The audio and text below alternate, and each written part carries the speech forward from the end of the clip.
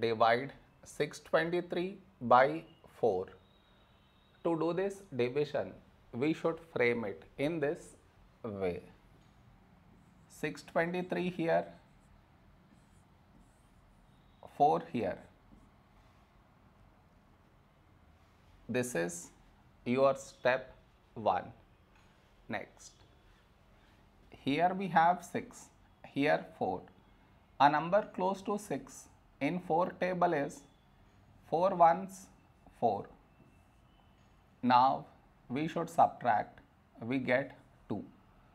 After this, bring down the beside number, so 2 down, so 22.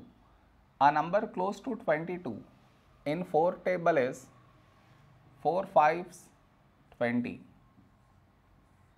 Now we subtract, we get 2. After this, bring down the beside number, so 3 down, so 23. A number close to 23 in 4 table is 4 fives 20. Now we subtract, we get 3. No more numbers to bring it down, so we stop here.